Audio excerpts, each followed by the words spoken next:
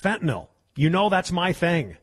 My support and love and appreciation for the men and women our veterans in our military, our active duty men and women, all of their families, those that dedicate their lives to public service, whether it's in law enforcement at a city level or a county level in a, in a sheriff's office.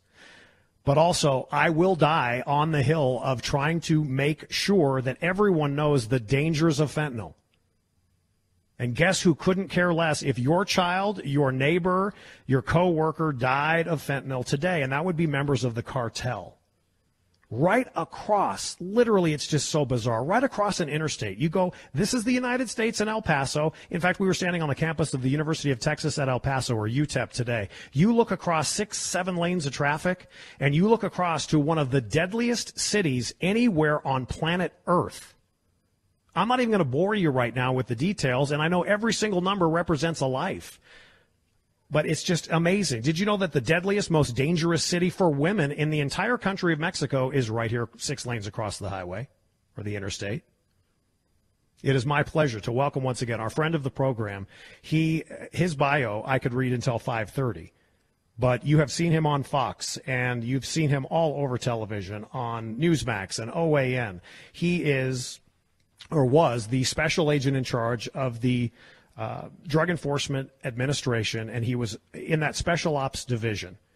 Uh, he was there for almost a decade. His name is Derek Maltz. And Derek, Steffan Tubbs in El Paso, welcome back to the program. And thank you so much on this special week of broadcast from our nation's border. Steffan, thanks for having me back, and I'm glad to hear you down at the border. Why don't you get some of these politicians and uh, Washington swamp rats to come down and join you? Brother, if we only could. I forget the Washington swamp rats. I can't get anybody out of downtown Denver or the state of, of Colorado. And, and, and no offense, I'm going to put on my Republican friends on, on, on notice too. I didn't hear any of y'all calling me on my t- cell phone saying, how come you didn't invite me? I haven't heard one, one peep from a Republican, Derek. So that, I don't know. That to me says a lot. Listen, I've got a, two, two things I want to start off with. Number one, tomorrow at this time, so 24 hours from now, we have a man that you know very well, and he wants me to say hello to you and pass along greetings, and that is uh, the for, one of the former top dogs at the DEA, Jack Riley. Jack Riley will join us tomorrow at 5:05. He wants me to say hello to you. He says he's great, you're, you're great, and, he, and I, I think he said he's the man. So there you go for that. So I will make sure to, uh, you know, let you know. And, and then secondly, I don't know if it's on your calendar, but I want to start with this since I'm kind of looking at the opioids and, and the fentanyl and, and, and the drugs and the cocaine and the marijuana that are so controlled, obviously, by the cartels and so, so just, you know, voraciously uh, ingested by Americans every single day tomorrow is the ninth anniversary of something that you had just a little bit of info on and intel on, and that is nine years ago tomorrow was the capture of one Joaquin El Chapo Guzman in Mazatlan, Mexico. I don't know if that's on your calendar, but nine years ago tomorrow. Yes, I'm very familiar with that, Steffan. I was down in Mexico in January of 2014 working with the embassy team and all the interagency partners coming up with the plan to provide intelligence to the team down there on the ground with the SEMAR unit, the Mexican Marines, to go capture them the first time. So I'm very familiar with that. And I'm also familiar, even though I was retired, with the second capture that was done by these amazing patriots that worked with the Mexican Marines. You know, he's in Supermax as we speak, and that is in Florence, Colorado, just, you know, a few hours away from downtown Denver to the south. I'm wondering can you give us? I don't mean to to have you give us a bio, and I don't. I couldn't care less. You know when El Chapo celebrates his birthday, but but who is this guy? And I wonder if he has any impact on things even today from Supermax. Well, Chapo was, of course, the leader for many years of the Sinaloa cartel, which, in my view, is the most powerful cartel, maybe in history, uh, as far as their worldwide presence and the amount of deadly drugs and now fentanyl that they're pumping into America. And he made, you know, billions of dollars and, you know, was involved with violence around the world. But, you know, it's interesting, Steffan, because, you know, today uh, there was a very high ranking uh, member of the Mexican government convicted, probably, or actually the highest ranking ever tried and convicted in America, Garcia Luna. Genaro Garcia wow. Luna. He was the FBI equivalent of uh, you know in Mexico, the public security director, and it was nice to see the victory today. But you know, it just shows you the level of systemic corruption in Mexico. And Chapo was the master at you know finding individuals uh, to you know to pay off, to bribe, and use them to help uh, you know the cartels get their drugs into America and you know tip them off on all these capture operations. So it was very uh, very good to see the prosecutors and law enforcement get a victory today in court in New York. Our guest is our friend of the program, Derek Maltz. He uh, was uh, the special agent in charge, or the SAC, of the Special Operations Division uh, or SOD. I'm not going to get into all the acronyms, but he was with the and dedicated his life before retirement to the Drug Enforcement Administration and serving folks like you and me that didn't even know a Derek Maltz existed. Seriously, he focused on El Chapo. He's been featured on Fox News and Newsmax and 60 Minutes and CNN. And I wonder, you know, you could go off and never take another radio call like this again, Derek. Why do you do it, and why is it so important when you could be you know, clearly just step away from it all?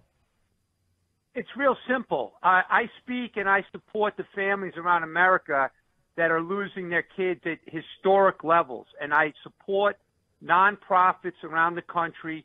Try to get them awareness, try to get them exposure, because our government right now has pretty much ignored this crisis until the politics popped up and they had no choice I mean, law enforcement like the DEA and Homeland Security, FBI, ATF, marshals, they're out there every day putting their life on the line.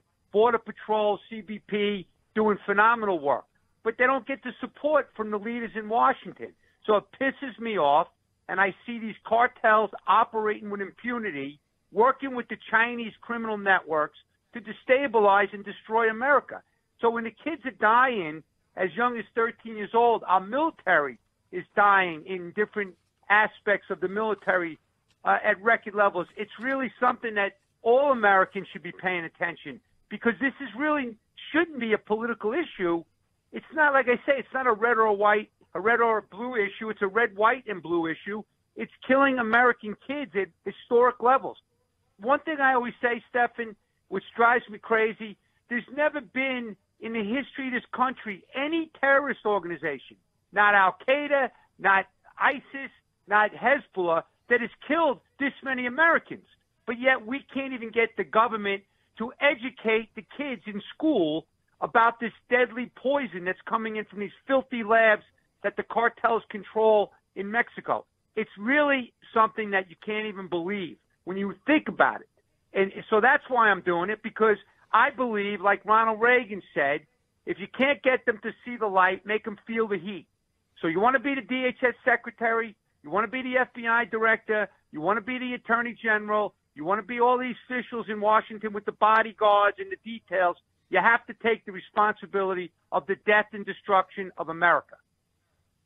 Derek Maltz is our guest. Uh, he is one of a kind. He is a friend of the program. And as we are live from El Paso, and he joins us uh, this evening, obviously via telephone, I'm telling you, we do this again. I, I might have to get you out of retirement and you come down here to a place like El Paso or we go to some other uh, you know, some other area that's seeing this stuff because this is happening. Derek, I mean, we're going to be out of here. I, I fly home Friday morning. I'm going to be back in the studio on Friday afternoon's program. I realize we're not going to we're not going to change national policy down here. I'm not going to. I'm lucky if I get a, a, Republican politician in Colorado to listen to us. But you know what? Again, uh, I, I think we all have that. Are we're all down here. We've got this bulldog tenacity and We've got to do it. We have the ability, you have through your impeccable resume and career, you have the ability and had the ability to, you know, make a difference and make change. The least we can do, I think, with a power of, of at least speaking to a few people uh, through a microphone is to at least make them – make them aware. There is something that I want to go back to. Your first visit with us not too many weeks ago. I want to, I've probably quoted this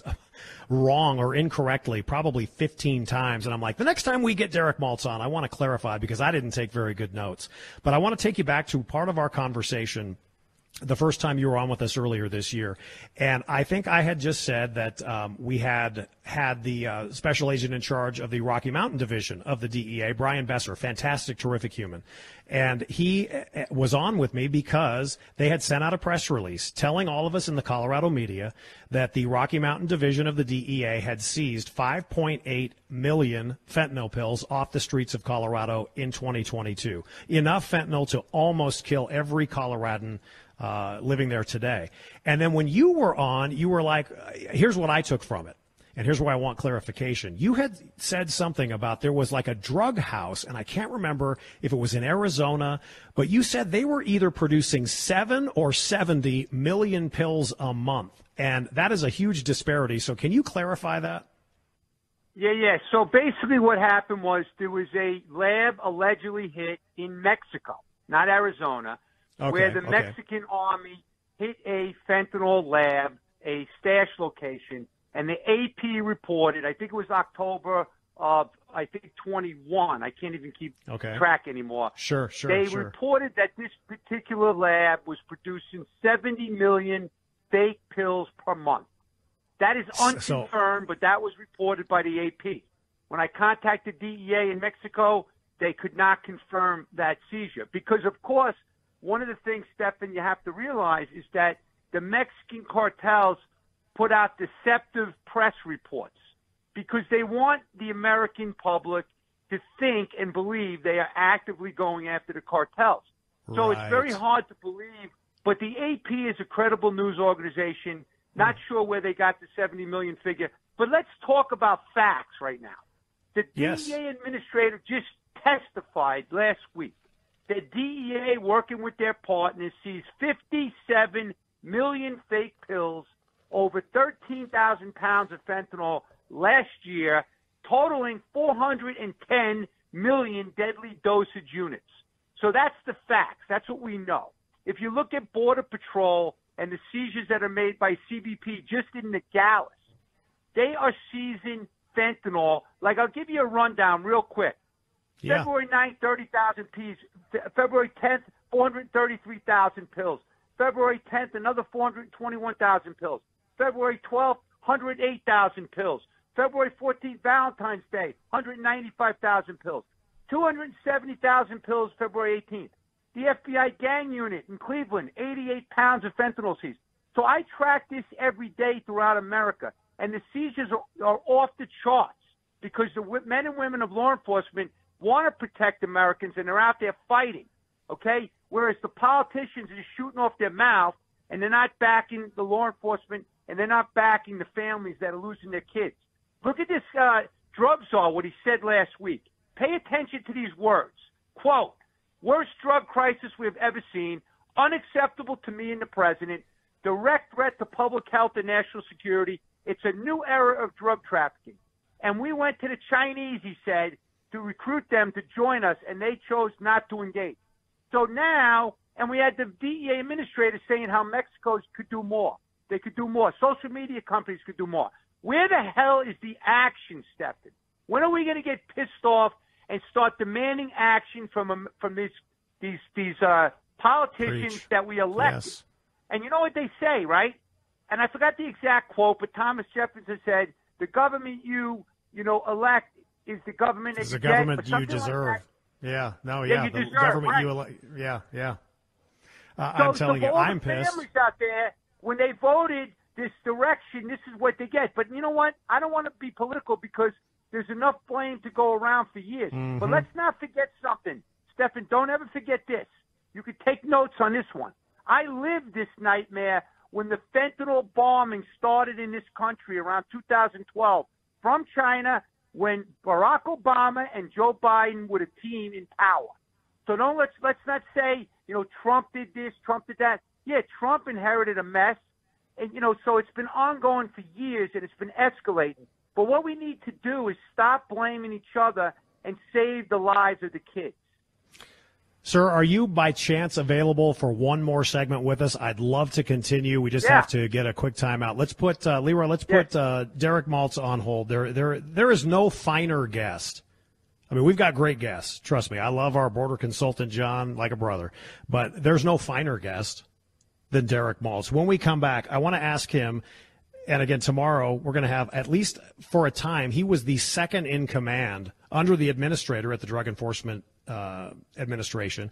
His name is Jack Riley and it was his job. This guy, I, I got to tell you, with all the respect in the world, Jack Riley was obsessed with El Chapo, obsessed to the point where, I mean, I'm reading his book and I'm going, dude, this may be a little unhealthy, but I certainly am not going to throw any rocks at you. But Jack Riley in his book Drug Warrior, and again, he's tomorrow at this time. Jack Riley writes that drugs, illegal and illicit drugs, opioids and fentanyl, are a bigger threat to the United States of America, read you and me, than terrorism as we know it. I want to see if Derek Maltz concurs with that. Let's take traffic and weather right now. Steffan Tubbs with you live from El Paso. Derek Maltz, do not miss our second segment with him. That comes up next on 710 KNUS. And we continue our conversation with truly an American patriot.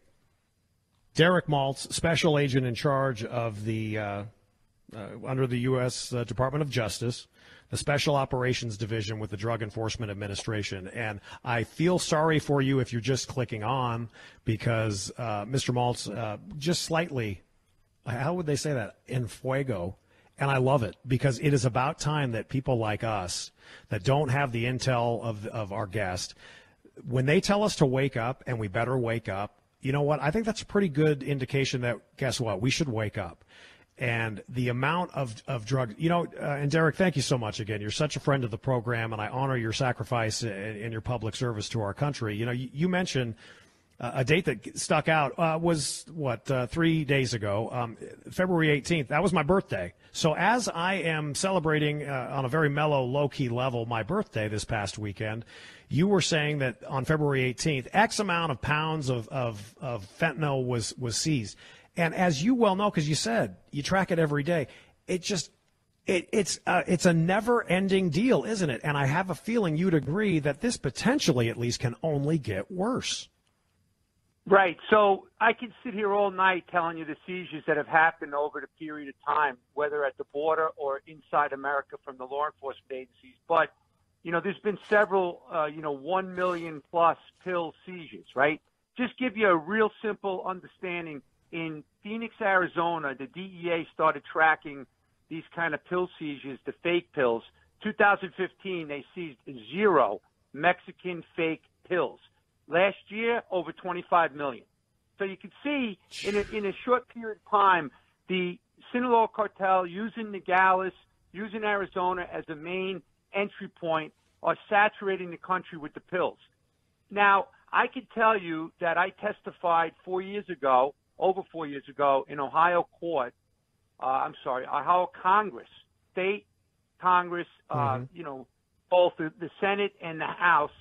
And I testified with Sarah Carter from Fox News and also a mother who lost a daughter, Heidi Riggs. And we were testifying to declare the cartels as terrorists. And we were pushing really hard along with several other people, Chip Roy, congressman from Texas, and Jason Jones, who's a dedicated public servant as well from Texas. And, you know, President Trump wanted to do it, you know, four or five years ago. But unfortunately, the bureaucrats and all those State Department officials in Washington convinced them not to do it. It was too aggressive. You're looking now all the deaths and all these mass poisonings that we have in America. Let's just put it this way.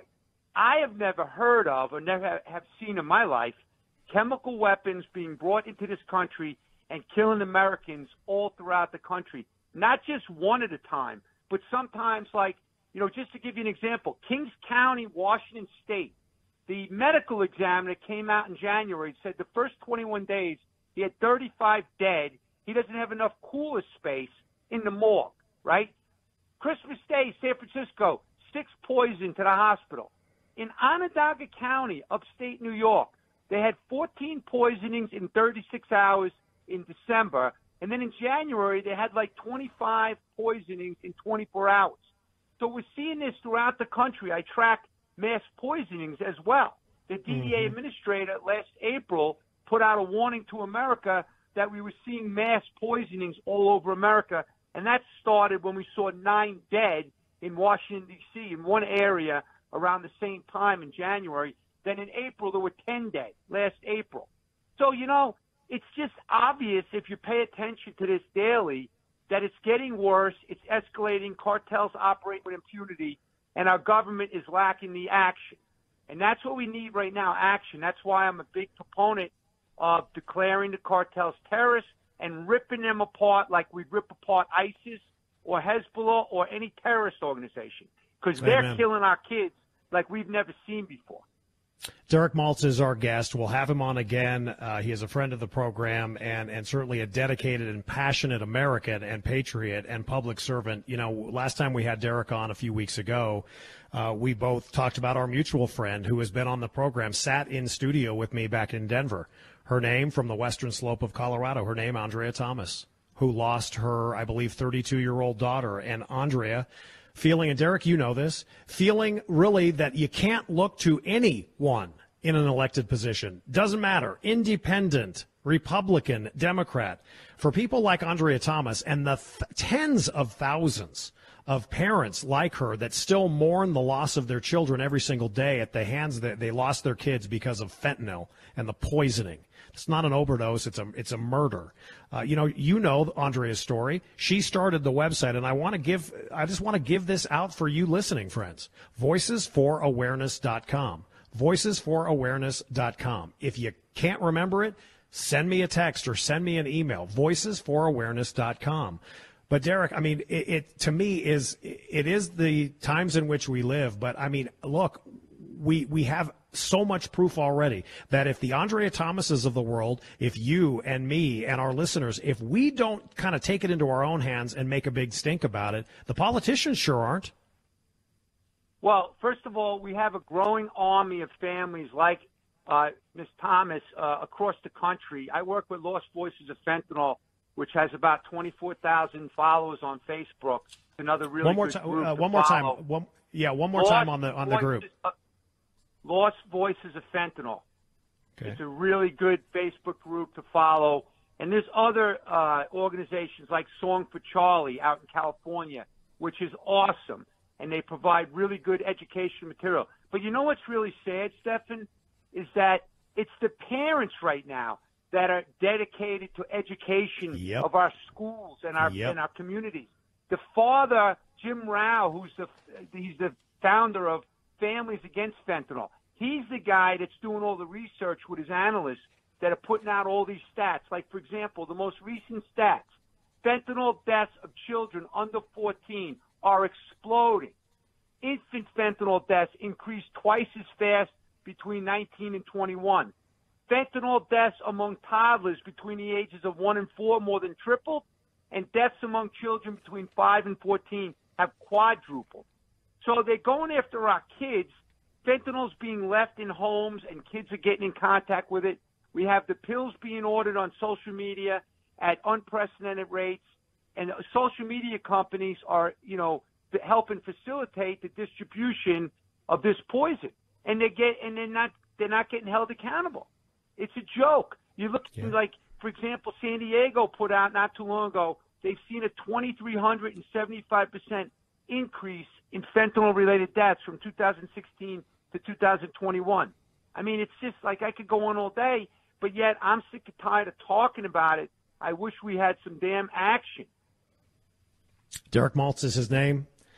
Uh, I think for, for, for time constraints, uh, he was a, a bigwig at the uh, Drug Enforcement Administration, and and I just the respect that I have for men and women like Derek who, again, he could be on a golf course or just he could be at a lounge right now sipping a cocktail. Instead, this is what he's doing in his retirement after a very dedicated and uh, decorated, I should say, career. I just want to go back, and I know the answer because you've said this for the last five minutes, but I did I did want to make the point that uh, your former colleague at, at DEA, Jack Riley, the author of Drug Warrior, he'll be on with us at 5:05 tomorrow evening.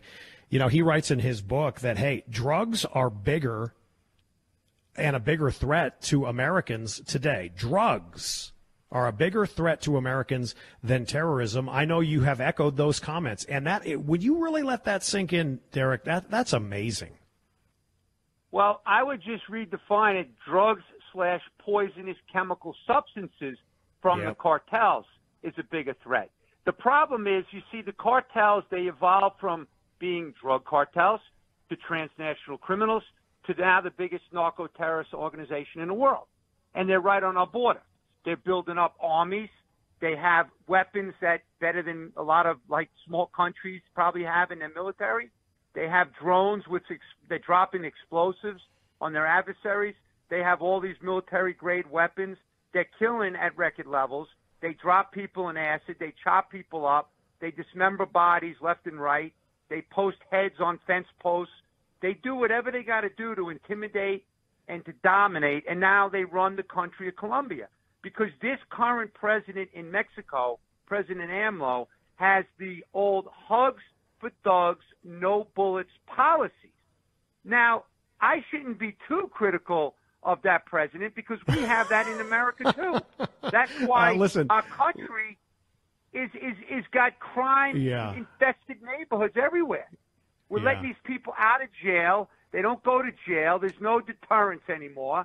So, you know, I can't be too critical of AMLO, but you know what I would say, Steffan? That if you can't take them down on the criminal side, now it's time to declare them terrorists and wipe them out, decimate them with the patriots that work in our military and our Please. intel community Yes, with the yes, sir. capabilities we have. Uh, real quick, we've got about three and a half minutes left. I want to give you rapid fire, so I will ask you live. Try to keep your answers uh, short, but I want to get in some rapid fire questions to you.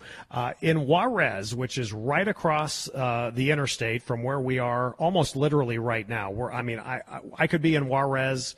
Uh, Chihuahua, Mexico, in probably less than six minutes uh, by car, and that's driving very much conservative speed.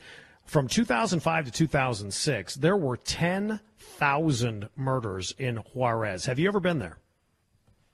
I have not been to Juarez. Of course, I've been to El Paso. Sure. Stay at it. We stayed at it, Juarez. Uh, what what what what do you think? If you can, by the way, my border consultant right now is saying, "Yeah, see, I told you, stay out of Juarez." Uh, right now, what do you think it's like here that I don't know, or our listeners wouldn't know that any of us from from our radio station, all around us in El Paso, uh, is it as bad as ever? And I'm talking about with the fentanyl and the illegal drugs and the organized crime, the cartels. In my view, it's like a war zone, so stay the hell out of it. I love that. I hate that, but I love that. Uh, in your distinguished and long career, with your own personal eyes, what's the most amount of illegal drugs you have ever seen in person, and do you know a value? Wow, that's a that's a tough question because I've been around some really good law enforcement people and ran the largest task force in America. But you know, we've seen tons of cocaine, we've seen you know thousands of pounds of meth. But the pills, I mean, like I when I was working, we I didn't get to see the massive amounts of pills other than the photos. But I would say the heroin, you know, I used to seize a lot of in my groups. I seized a lot of white heroin coming in from Colombia. You know, millions and millions of dollars worth of heroin. This is before we started seeing the synthetic opioids come into the country. Let me ask you about where we are in El Paso right now. Would it surprise you, and you don't have to give me any intel, you know, stuff, uh, obviously secrets need to stay secret, but we were just talking off the air about tunnels. Do you think right now there are tunnels, and I don't know if you could take a guess as to how many? I won't. I won't even take a guess because I, I'll tell you that obviously the tunnels and the engineering for tunnels has been going on many years. Uh, Chapo Guzman and Sinaloa cartel were the masterminds, and they were absolutely involved for many years. So yeah, there's tunnels all over that area. There's tunnels into obviously into Southern California. They have that tunnel task force that's been seizing tunnels for the past several years. You know, Homeland Security, Department of Justice, DEA, FBI, they're all working together. So yeah, there's tunnels all over the place. Crazy. Final question for our, our impeccable guest, Derek Maltz, former special uh, agent in charge of the Special Operations Division with the Drug Enforcement Administration. Again, and I know I asked you this the last visit, and I look forward to many more. Your advice to a parent right now, not necessarily thinking, ah, this will never happen. My family's impervious. But what is your message? And you know what? Honestly, maybe I should stop saying what's your message to parents because every single one of us in America should be concerned. If you have a heartbeat and a conscience and you care, what is your message as you leave us on this Tuesday evening? So I would say immediately watch Dead on Arrival, 20 minute documentary, which features like four or five parents who have lost their kids. Real story. It's very short, to the point, and very um, impactful. Then I would go to DEA.gov website. The One Pill Can Kill. Tremendous amounts of educational material. I would visit Song for Charlie, start get educated, and sit down and talk to your kids, and make sure you know what the hell they're doing on these on these phones. They're not innocently talking to friends. I just had a guy on Fox News yesterday that I helped from Mississippi. His 16 year old kid committed suicide after he got extorted from a Nigerian crime ring in Nigeria on a sextortion sting, a sting. And the kid committed suicide in his house. The father wanted to tell a story. But why do I bring that up? Because the common denominator is Instagram and social media is facilitating these predators to go after your kids.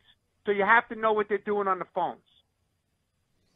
Derek, uh, again, I can't thank you enough. Uh, I'll talk to you offline, but but thank you. And I'm telling you, we're not going to stop the fight from a tiny radio station in Denver. I know you won't stop the fight from from your pulpit, and uh, I just look forward to our next visit. Thank you, sir, so much. Thank you, and keep up the good work. Thank you, Derek Maltz